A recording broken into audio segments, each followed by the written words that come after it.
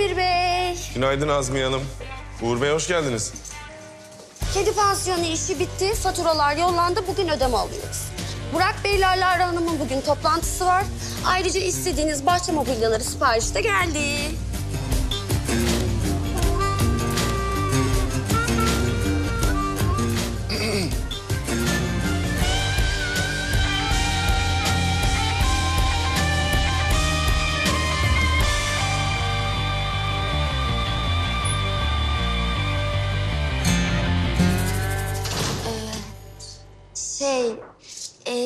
Hanım henüz gelmedi ama muhakkak bir işi çözüyordur.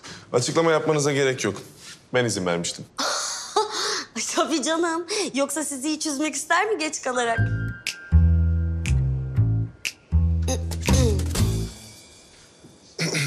Bu arada Dirim Hanım üç kez aradı. Sizinle görüşmek istiyormuş. Tamam, ayarlayın bir görüşme gelsin. Nedir bu dosya? Yıldırım Bey'in otel işlerinin satın alma raporları. Onu ben de okuyabiliyorum Azmiye Hanım. Ama henüz projenin nihai onayı çıkmadı. Niye benim masamda bu dosya? Ben bilmiyorum Demir Bey. İmzalamanız gereken dosyalar diye bıraktım masanıza. Ferruh Bey mi verdi bu dosyayı? Aha. Çağırayım mı? Şimdi değil. Haber veririm ben. Tamam.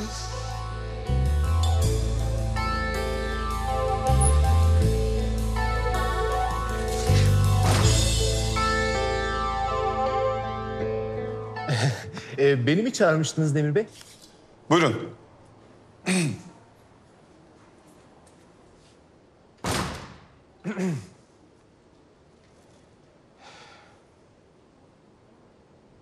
Yıldırım Bey'in otel işleri. Bazı anlamadığım şeyler var. Bu rakamlar. Selin Hanım henüz projeyi bitirip onaylatmadı ama... ...karoların ve kaplama malzemelerinin siparişini şimdiden vermişiz.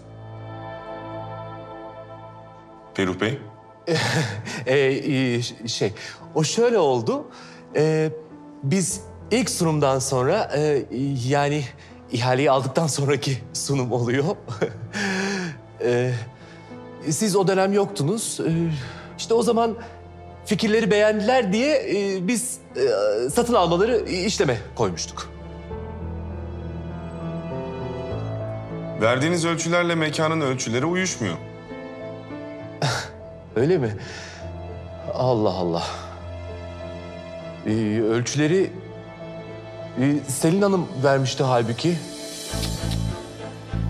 Tamam, çıkabilirsiniz. Çıkabilirsiniz derken? Bu kadar mıydı? Bütün satın alma kalemlerini kontrol edecek değilim. Bütçeleri ve faturaları tek tek siz kontrol edersiniz diye düşünüyorum. Sizin işiniz bu sonuçta. Yanılıyor muyum? Değil tabii Demir Bey. Ee, hepsini incelerim ben. Hatta masama gidip hemen başlayayım ben en iyisi. Size iyi günler. İyi günler.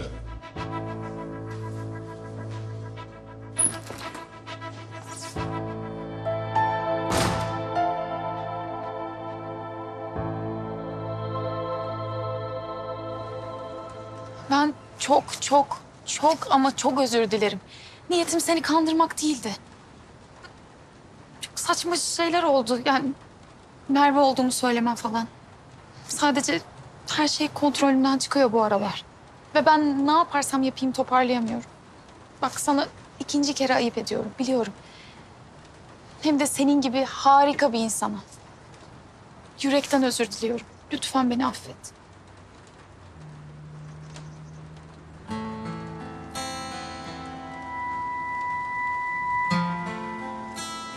Ay senin balına tüküreyim demirim ya. Efendim? Aslında anlamam lazımdı. Yani senin Selin olduğunu anlamam gerekirdi. E ama nasıl anlayacaktın ki yani benim olduğumu nereden bilebilirim? Efendim? Demir sana benden mi bahsetti? Sürekli. Japonya'dan döndüğünden beridir tek konuştuğumuz şey senle maceralar. Ama inanma ona. Bak o bütün olaylara eğip büküyordur. Benden dinle sonra sen kendi karar ver. Selin tamam sakin ol.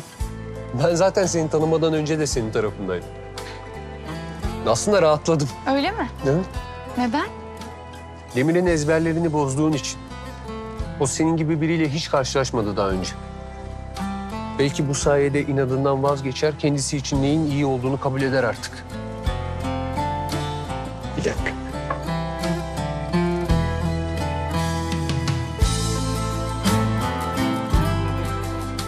Evet. Bu çiçeği ona ver. Bir de benim selamımı söyle. O anlar.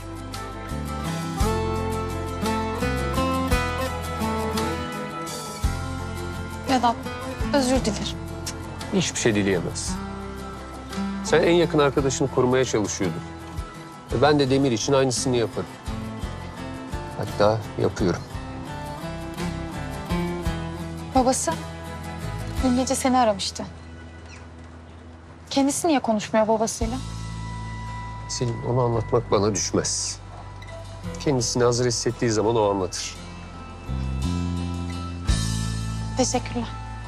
Ne demek?